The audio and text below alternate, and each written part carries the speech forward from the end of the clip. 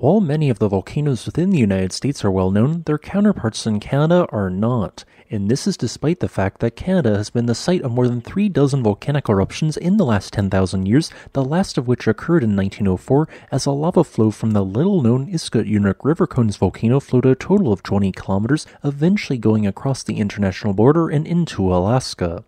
Another volcano which is closer to a population center, the well-preserved Kostal Cone erupted around 1600, while a deadly volcanic eruption occurred from the Tseax Cone around 1700, resulting in the deaths of several thousand indigenous peoples. In total, Canada has 19 volcanoes which could probably be classified as active, having produced an eruption at some point since the end of the last ice age, in addition to a 20th volcano which might appear extinct but still produces active mud volcanoes, a 21st volcano with recent seismicity, and a 22nd volcano with no known Holocene eruptions but with a number of vents presumably under 50,000 years old. Thus, in the style of the U.S. Geological Survey's National Volcanic Threat Assessment linked in this video's description, I have created the equivalent for the 22 volcanic complexes in Canada. Used to calculate this threat rating score are a series of factors for each volcano which include things such as, by the way, this list is not all inclusive, there are more factors than what I am about to mention, the frequency and size of volcanic eruptions, whether eruptions are dominantly effusive or explosive, amount of nearby infrastructure, amount of nearby air traffic, and the amount of nearby population. And I want to note that volcanoes anywhere on this scale can be potentially dangerous or deadly given a certain set of circumstances, such as a volcanic eruption. Before I reveal the full list, I would like to thank the sponsor of this extended duration geology video, Surfshark. Surfshark is a VPN, aka a virtual private network. A VPN keeps you safe by covering up everything you do online while also allowing you to bypass government internet censorship. Did a major earthquake or volcanic eruption in your country just occur, causing corruption to be revealed which the government did not like, with that same government trying to stop the spread of this information via blocking one or more social media sites? Surfshark VPN has you covered. Simply log onto a Surfshark account and change your IP address to a country where those same websites are not blocked, and there you go, easy access to a blocked site. Since your data is encrypted with Surfshark, while traveling you can access your bank safely even while on public Wi-Fi. Normally, connecting to such a sensitive website on public Wi-Fi risks the chance of hackers stealing your login info, but not with Surfshark. Just be sure to check if your bank allows usage of their website when connected to a VPN beforehand. Viewers who get Surfshark VPN with the link shown on screen who enter the promo code GeologyHub will get 83% off their purchase and 3 extra months for free. Now, as promised, here is the Canadian Volcano Hazard Assessment list in full with a similar threat score volcano within the United States shown on the right side for comparison. I want to note that I am not affiliated with the United States or Canadian governments or their geological surveys. This is simply my personal opinion based interpretation of various volcanoes in Canada using a specific US Geological Survey methodology. I will now briefly explain each of these volcanic complexes. Starting from the bottom of this list are two volcanoes which are highly remote in British Columbia, not located near any major airports, and only have a minimal population within 30 kilometers of them. Both coming in with a threat score of zero are the Dark Mountain Volcanic Field and Castle Rock. Both complexes are composed of subglacial vents known as tuyas and subglacial mounds which have a generally dark coloration. However, it is quite likely that the Dark Mountain complex has not erupted in more than 20,000 years, and the same is probably true of Castle Rock, except it has produced occasional seismic activity, suggesting that it might have some form of deep magma reservoir.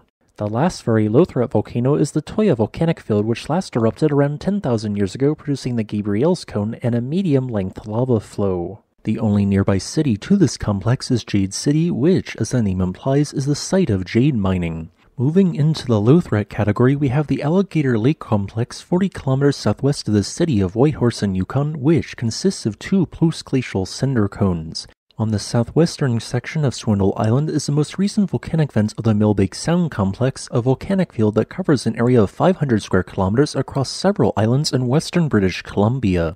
The Bridge River cones probably last erupted at some point in the last 5,000 years, but not much is known about them. The second most active volcano in Canada, which last erupted in 1904, is the Iskut-Unuk River Cones, which has erupted approximately a dozen times since the end of the last ice age. Luckily, only a single dam is located near this remote volcano. The highest threat Yukon volcano is the Fort Selkirk volcanic field, which only produced a single volcanic eruption north of the city of Fort Selkirk approximately 7,500 years ago. The Hoodoo Mountain Tuya, which is still glacier covered, comes in next on this list, while three volcanic cones east and northeast of the city of Atlin come in next.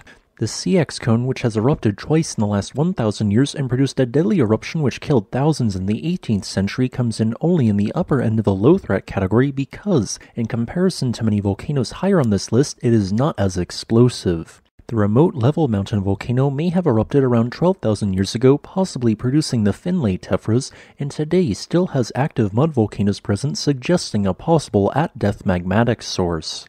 This might seem a bit surprising to call this volcano potentially active due to its substantial level of erosion, but some evidence does point this way. The mantle hotspot caused Nazko volcano produced its most recent of three eruptions 7,000 years ago and is not close to any major cities but is close to some logging operations. This volcano was near the site of a possible very deep magmatic intrusion which did not travel very far into the crust during 2007 and today has several volcanic gas seeps which release carbon dioxide gas. The first purely explosive volcano on this list is the remote Crow Lagoon complex, which consists of at least two explosion craters termed maars, which are each up to a kilometer across and 200 meters deep. In the lower end of the moderate threat category is the Wells Gray Clearwater volcanic field. It has erupted four times in the last 10,000 years, including an eruption in 1600, which were generally moderately explosive, but has also produced explosive maars and has been the site of recent earthquakes. The Spectrum Range volcano contains an abundance of beautiful hydrothermally altered rock and has been the site of moderately explosive basaltic and highly explosive rhyolitic eruptions. It has erupted twice in the last 10,000 years, and the reason it is ranked so highly despite no major nearby population centers is its proximity to the Juneau International Airport. Next on this list, the Silverthrone caldera at one point, probably between 200,000 and 2 million years ago, produced a powerful VEI 7 explosive eruption, which was more than 100 times more voluminous than the 1980 eruption of Mount St. Helens. This eruption formed a 30 kilometer long and 19 kilometer wide caldera which is now covered by many glaciers. Silverthrone has only produced one eruption, which was a small, probably VEI2 cinder cone forming eruption in the last 10,000 years. The most active volcano on this list with possibly as many as 30 eruptions in the last 11,650 years and the first high threat volcano is Mount Edziza. It has a large 2.8 kilometer wide caldera, has produced numerous recent cinder cones such as the Eve cone, many additional lava flows, and as a stratovolcano has produced many explosive eruptions. Yet it is not higher up on this list due to the lack of any significant population centers nearby. Although the Mount Cayley stratovolcano has probably only erupted once since the end of the last ice age, the fact that its eruptions are almost always highly explosive and that many of its flanks travel into valleys which lead to several towns make this a high threat volcano. Next, we have the high threat Garibaldi Lake volcanic field and the very high threat Mount Garibaldi volcano. Altogether, they have produced four volcanic eruptions in the last 15,000 years, one of which formed a tuya, and the other three of which were highly explosive, resulting in unusually long dacite lava flows, which, if they were to happen again, could cause a high degree of destruction to the more than 10,000 people who live in the region. The highest threat volcano in Canada is Mount Meager, which could sort of be thought of as Canada's Mount St. Helens.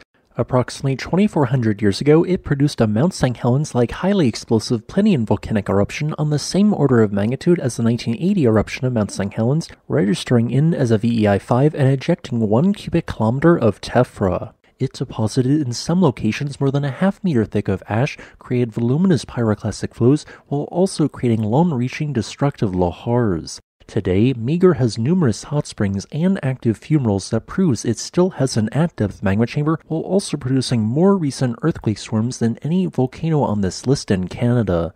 Thanks for watching, and another thanks to Surfshark for sponsoring this video. If you would like to request a specific topic, please leave a comment below. Additionally, I would like to thank this channel's patrons on Patreon and channel members on YouTube.